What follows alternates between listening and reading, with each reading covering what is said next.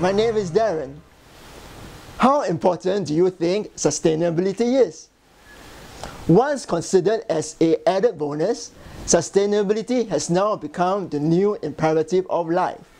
For this episode, we will be talking about sustainability as the new normal.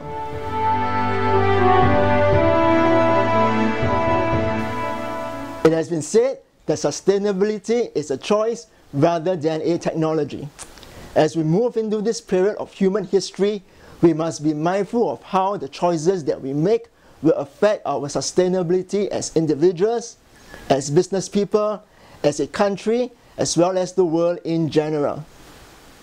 The first choice we need to make is to shift from that of business functions into that of end to end business processes.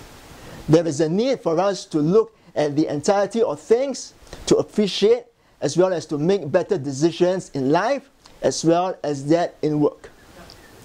The second choice we need to make is to shift from that of simply being resilient, but to that of being determined. To be determined requires us to not just being resilient, which is the bouncing back in any adverse situations, but also for us to be persevering, which is that of moving forward underneath the trenches, even in bad times. Friends, my time with you has come to an end. However, if you would still like to keep in touch, you can join my Facebook page or you can email me at contact at drdarrenchua.com. Meanwhile, take care, God bless, and remember, disability is only in the mind.